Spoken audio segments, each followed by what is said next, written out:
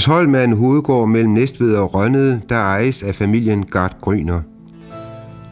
Hovedbygningen er opført i 1609 af Christian den 4. hofmarskal Jens Bare. Den står på det gamle voldsted omgivet af vandgrave, hvor den gamle faste borg, Padeborg, stod i 1300-tallet. Borgen kunne ikke modstå et angreb af kong Valdemar Atterdag i 1345, der ville befri to af sine tilfangetagende mænd, som havde forhandlet med den svenske konge i Varberg. Borgen blev kort tid derefter fuldstændig jævnet med jorden. Kun voldgravene og bygningernes fundamenter og et par kontravægte for borgens vindebro er i dag bevaret på Sparsholm. Da landbruget blev mekaniseret og køerne sat ud, blev bygningerne ret tomme. Derfor tilbød den daværende ejer af godset, hofjægermester Preben Gard Gryner, at den hestevognssamling, som Peter Strauss havde skabt, overførtes til Spares Holms rummelige kostal. Et 30-årigt samarbejde om bevaringen af et stykke dansk kulturhistorie tog sin begyndelse, og samlingen blev meget større. Vognsamlingen måtte forlade Sparesholm i april måned 2002.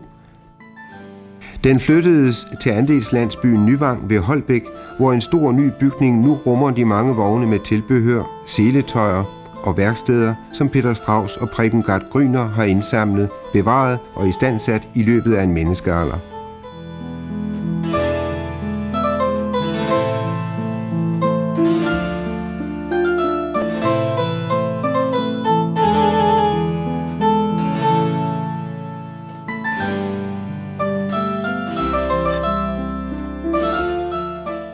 Inden nedpakningen og flytningen af vognsamlingen begyndte, fortalte Peter Strauss en sidste gang om de gamle hestevogne på Sparshold.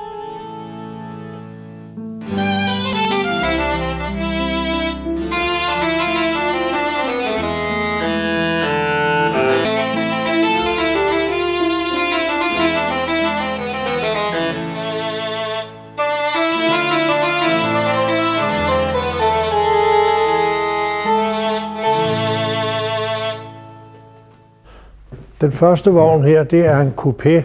Den er fra 1880, og den kommer fra Ida Gård ved Slagelse. Meget flot eksemplar med det originale indtræk, undtagen hønnen, der er ny. Der er varmeapparat, for når sådan et herskab en vinteraften var til selskab på nabogodset, og de skulle hjem, så var det jo ikke rart at komme ind i sådan en kold vogn. Så kusken han når han havde lagt seletøj på hestene, gik han ned i køkkenet. Der var altid ild i komfuret og fyldte gløder i skuffen der. Stil og tradition var der meget af. Sølv på håndtagene, sølv på lygterne. Og når man har sådan en flot rund forrude med facetslæbende glas, har man også runde lygter. De fleste vogne er der firkantede lygter på. Stænkeskærmen fra hjulet, så det ikke griser vinduet til. En lille detalje. Det her det er en gløjvogn. Det er en jagtbrik, kommer fra Gyldenholm, der ligger op ved Fuglebjerg, og er en meget, meget flot vogn, som Gløj har bygget. Den er til firespand. De fleste godsejere og ejere af den slags vogne her holdt meget af selv at køre dem. Men denne her er jeg helt sikker på, at ejeren ikke selv har kørt. Hvis han selv havde kørt den, ville man her have haft et ryglæn, når ejeren kørte den og man havde i hvert tilfælde ikke haft ryglæn til kusken og vogntjeneren. Så den er kørt af kusk og vogntjener.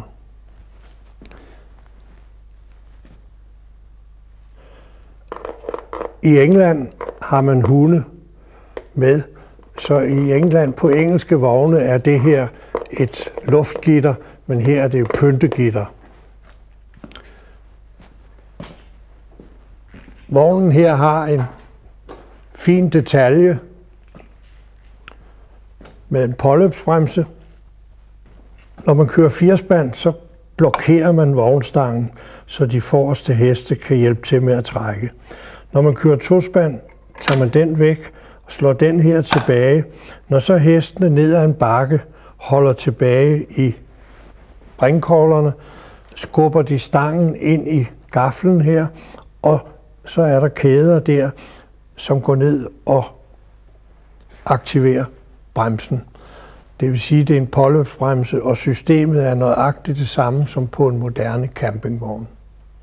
Vognen her er bygget hos Johannes Neuss i Berlin omkring 1890.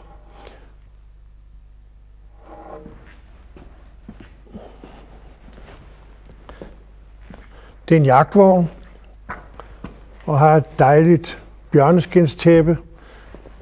Her er plads til at hænge geværet.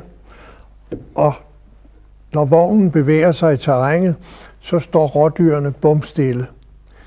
Hvis vognen holder stille, så er de væk med det samme. Så godsejeren han tager sit gevær og stiger forsigtigt ud af vognen, mens den kører, og så står dyrene stille, så han kan ramme dem. Og når han har ramt dem, så bliver de lagt herom. Og her til at lægge vildtet, og når man ikke bruger den, så er den spændt op der, så man har sin vogn til at køre en tur til byen.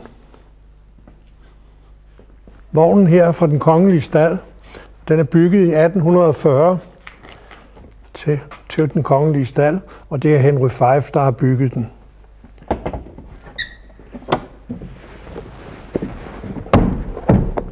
Trappen her betjenes af to mand, der står bagpå.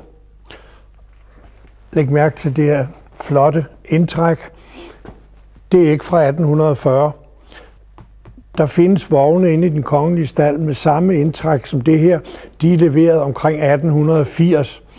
Og mit gæt, det er, at vognen er ombetrukket, fordi grevinden Danner har siddet i vognen. Og det har med andre kongelige personer ikke vil sidde i samme stof. I dag bruger man vogne af samme type som denne her til ambassadørmodtagelser. Hver gang der kommer en ny ambassadør til Danmark, skal han i audiens hos dronningen. Dengang var det hos kongen. Og de to mænd, der står bagpå, det er dem, der lukker trappen op. Og så er en lille detalje her også det er, det er til at lægge benene på.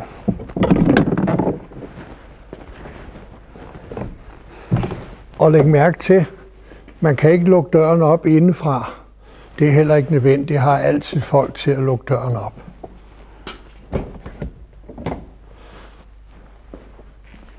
Her bagpå, der står biløberne.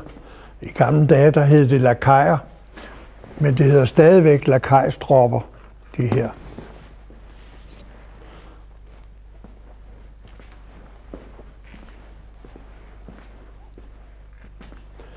her Faxe Bryggeri.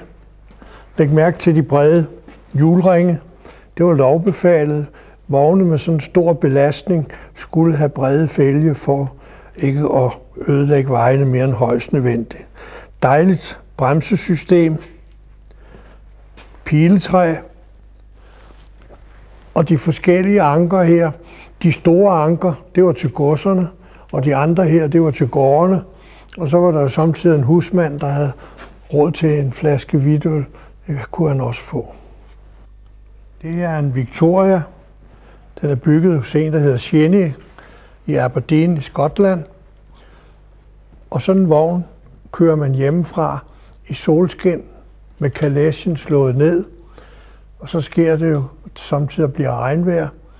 Og så stopper kusken. Og så første han gør, det er at sætte denne her bum på. Den hang i de her stropper her. Det der er pakket sammen, så det fylder de to felter. Det har han herinde under kuskesædet. Og så har han et læder, han spænder på her, og det går ned her, så herskabet sidder i tørvejr. Og hvis de vil have fat i ham, så kan de der lukkes op indefra, så de kan tale med ham. På denne vogn er der messinglister, og så kan man se, at der er messing på lygterne. Og så har de naturligvis haft messing på seletøjet. Og her er kuskens hat, og læg mærke til, at kusken sidder i højre side. Vogntjeneren sidder der, så er han nemt nede og kan lukke døren op for de lukkede vogne. Hvis der ikke er nogen vogntjener med, så sidder kusken altid i midten. Og her, når vogntjeneren er med.